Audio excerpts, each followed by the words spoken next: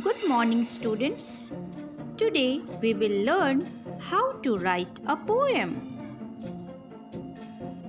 So let's start. The question is Write a poem on any animal following the pattern given on page 108 in English course book.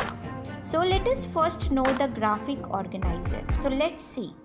In line number 1, we will write one noun that says what the poem is about. Line number 2, we will write two adjectives means the words that describe the words in line number 1. After that, in line number 3, we will write three verbs means action words means the verbs in the same form ending with ing or ed. Then in line number 4, we will write four words which express your thoughts or feelings about the word in line number 1. It may not be a complete sentence.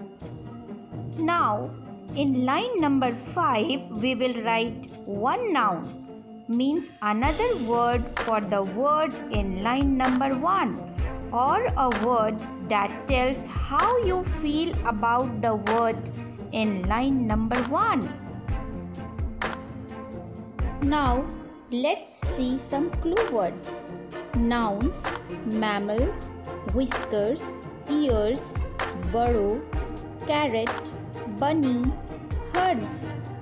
In verbs, talk, jump, runs, hops, wiggle. Adjectives, little, soft, playful, fluffy, funny. So these are the clue words related to the topic. Now we can write the final draft as rabbit that is noun. Playful, funny. These two words are adjectives. Running, jumping, hopping.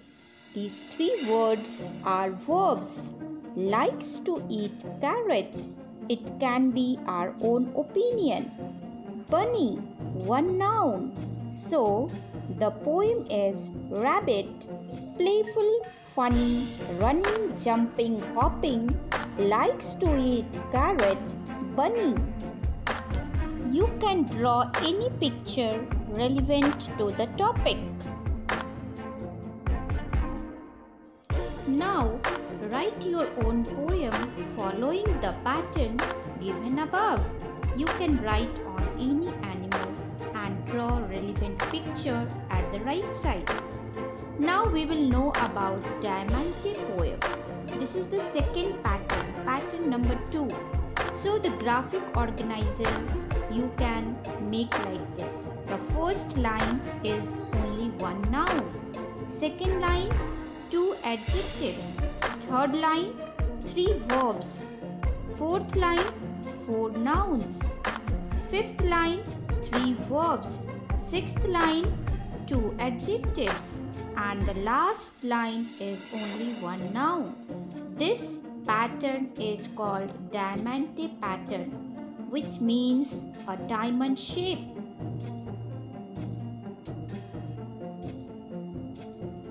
Let us take the topic day and night.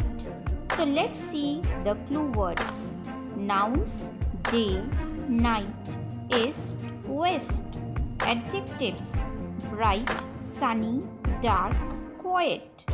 Verbs laughing, playing, talking, singing. Now the question is write a poem following a diamante pattern. Let's see the example. The topic is day and night. So let's see the final draft. Day, bright, sunny, laughing, playing, singing, east, west, north, south, talking, resting, sleeping, quiet, dark night. So this is called Diamante pattern and this is the final draft.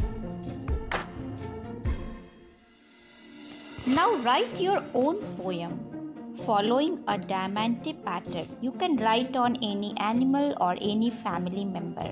Now let's see pattern number 3. Writing a poem following the pattern rhyming scheme A A B B or A B A B etc.